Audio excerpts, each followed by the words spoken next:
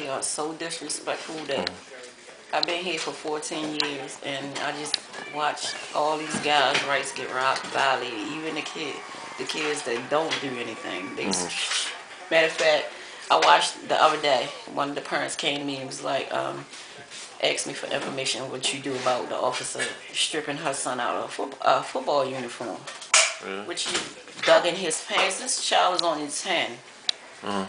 And basically, it happened to my child before, and I even uh-huh. called up. I, Take him I out of the football uniform? Yes. Kids around here, you got like kids around here, you got coaches in Glen Burnie, I mean in Glen Burnie that will come out mm-hmm. here and pick up kids and knock on their doors and just to keep them out of trouble. Right. Mine was just so happened to been one of the ones where I was one of the parents and by me being a single parent at the mm-hmm. time, anything to keep them out of trouble, I'm fine with. Right. I'm good with. But you can't do that around this neighborhood when you constantly got these officers jumping out, doing all different kinds, and they Mm-hmm. distracting these kids. These kids are some of them 10, 11, 12, maybe 13 in football. Yeah. Yeah. They're automatically assume because you're black and you're walking up down 10th Street, you're selling drugs. That's not always the case. Kids Yeah. hang out.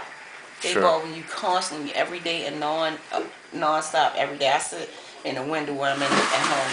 Since I've, I've been home three years. Other than that, I worked. Tell me, tell me a little about you. You worked at McDonald's. How I long? worked at McDonald's for uh, And then you come home and they jump out on you. They try to put a pack on you because they, you known to be a drug dealer Oh, five I years see. ago though. Right, right. what? I don't know. now. You feel me? And That's Oh, totally, yeah. they do though. Is that what happened to you, or Yeah. so you were you you come home from prison and And they sent me and they put a pack on me. You feel me? It ain't Yeah. mine. It's, they got Right. out with it and put it in my pocket and says mine. Yeah. so are you facing new charges now, or No, I ain't facing no new charges because I gave them something that they want to let me go. right? Oh, I see. Yeah. Jesus. But no, I mean no. That's though. not. That's not.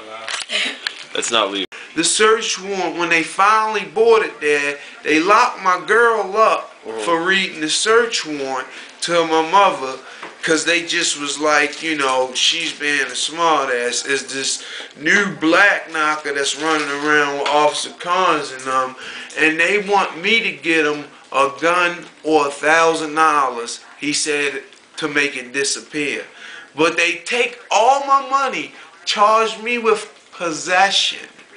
How much money did they take? They took all together, it was nine hundred and sixty-three dollars.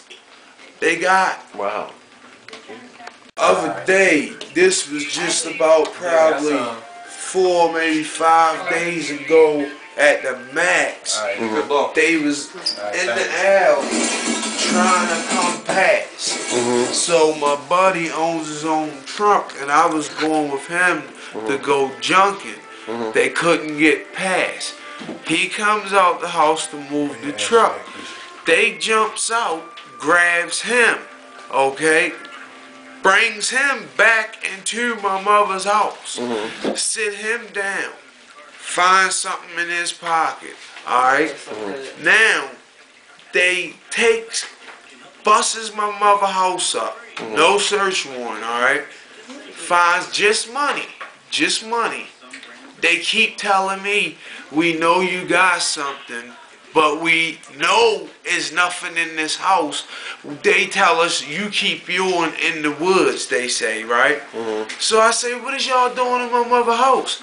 They like take us to a stash. I'm like, I don't have nothing, man. So they tell me they gonna lock my mother up and destroy her house if I don't give them anything. And that's a- So I can't give them nothing. All right? Mm-hmm.